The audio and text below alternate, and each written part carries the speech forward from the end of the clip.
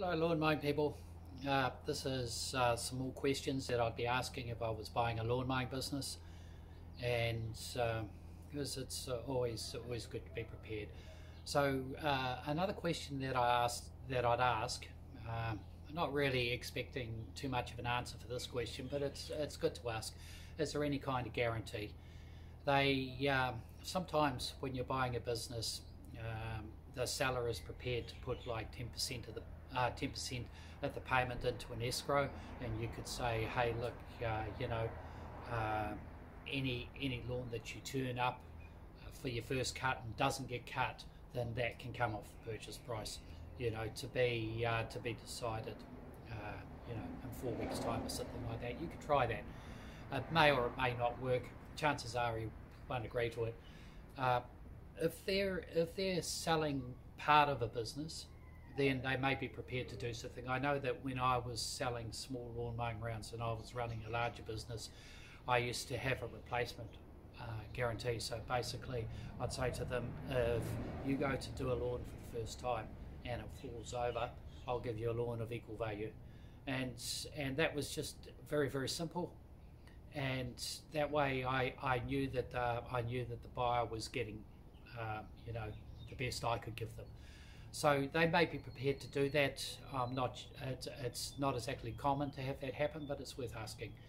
And uh, and sometimes even if you don't think it's going to happen at all, it's worth asking to see the reaction of the guy that's selling. If he thinks that you're going to um, lose a lot of the lawns when you take over the business for one reason or another, um, then you may see that on his face when you ask that question he may look uh, a little bit shocked or something like that. Uh, that's, that's just something something to look at if you understand body language. Uh, it may tell you something. Another thing to ask is: Are there any overdue accounts or bad payers in this list? Uh, if there are, you want to know about them. Uh, who wants bad payers? If there's a very small percentage, then yeah, okay. I mean, you you have to work around with it uh, you have to work around it. But another thing uh, that you can ask them is how they how they deal with slow payers, they, whether they have any systems in place. If they've got really good systems, you can assume that uh, that most of their customers pay on time. Now, uh, as I said in, in the last video, we talked about area. I'll go into it a little bit, a little bit more detail now. Um, with an area you want when you buy a lawn mowing business you want you want the area to be as small as possible. The smaller the area the higher turnover you can make. So uh, basically you you want uh, you want to do as little traveling as possible. If they've got uh, if they've got jobs that are uh, like miles away you've got to ask yourself whether that job is worth it. Uh, you don't want to you don't want to go drive into a job when you could be doing a job locally. You find uh, if you're talking about a rural job, then you haven't got that choice. I'm talking about uh, I'm talking about lawn mowing grounds in condensed areas, areas of 10,000 or more people. The thing that you could be asking about is, do any of the lawns involve any free extras? Some people do this. They'll uh, they'll leave a rubbish a rubbish bag out and the lawn mowing guy will take it away for free. Or they'll keep this uh, you know this pruned or they'll do this or they'll do that. Uh, just just ask about that because if uh, if he says oh yeah uh, you know they can put out a few rubbish bags and he'll take them away and you're not prepared to do that then the customer's going to say hey look that's fine I'll go somewhere else. What they don't realize is that there's not many lawn mowing contractors that are prepared to do that they'll go, they'll ring around, they'll try and find somebody. They won't find anybody, and uh, but they but another thing that they won't do is they won't come back to you, because it's going to. Uh, they, they don't want to come back and say, oh, I was wrong. Nobody else is prepared to do this for free either. So, well, so they're just going to move on. So you, you don't want too many jobs like that. Uh, one or two, yeah, okay, but be prepared to lose them unless you're prepared to do the extra work. And well, you could start off like that, but I wouldn't. Uh, I, I, wouldn't recommend it as a way to continue. It's uh, it's not horribly good business practice. Now, uh, another thing you could ask about is: Is there any of his lords have time time or day restraints?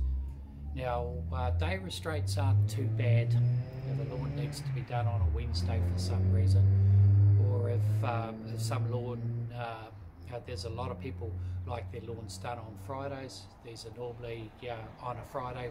We have a lot of lawns in nice uh, in uh, probably one of the nicer parts in town, and uh, and quite a few of those lawns are being done weekly. So we don't we don't mind jobs like that. So if they've got Friday lawns, just make sure that they're all, you know, pretty close to each other. You don't want to be running to the other side of town to do a Friday lawn. Uh, if they've got any shift workers on their books, you may want to know about that because some people say, hey, you can't mow my lawn before lunch. So that's something that maybe you can work around, but I normally tend to find that the smaller the window gets, the less I want the job.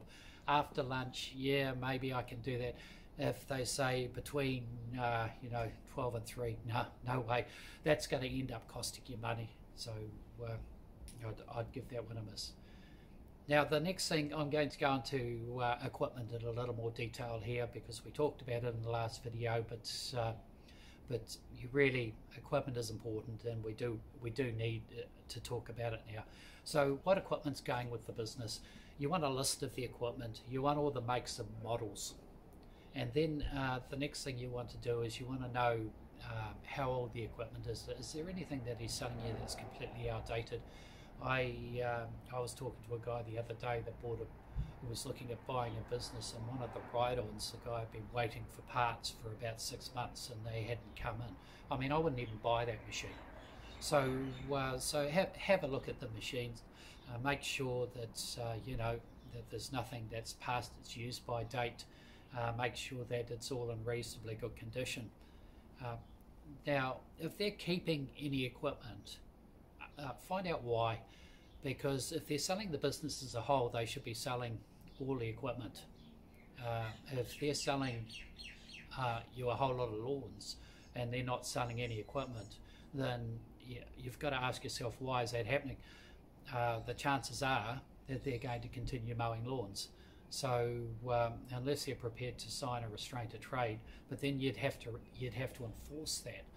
So uh, if, if someone's if someone's saying to you, I've got a whole lot of lawns for sale, I want to keep all the equipment, and I'm just selling the lawns, but I'm not going to be mowing lawns, then uh, I, would be a bit wary about about buying that business. So uh, if there's any vehicles going with the business, what's the mileage on the vehicles? What kind of condition are they in? Uh, one good thing to do is take the entire equipment list and look it up and see what it's worth secondhand on the market because the uh, the goodwill of the business plus the value of the of the gear secondhand should basically equal his asking price and the goodwill of the business should generally be roughly 12 weeks worth of uh, worth of turnover so uh, so if if the price is too far off off that uh, then then you might want to, you know, he might be overpricing his equipment, he might be overpricing his lawns. So you want to look at that. Uh, another thing that you want to do with the equipment is check out the reviews. Go online and see what the reviews are like on the equipment. If there's a common problem on with one specific piece of equipment that he's got, why why not check the equipment? Why not make sure that his his uh, piece of equipment is not having that problem? So uh, that's just a, a few questions you can ask and in the next video I'm going to start talking about things like due diligence and uh, and how to how to do the final check before uh, before you buy the business and what you should be doing once you've taken over the business in order to make it run smoothly. Uh, I'll talk to you then. Until then, happy lawn mowing people.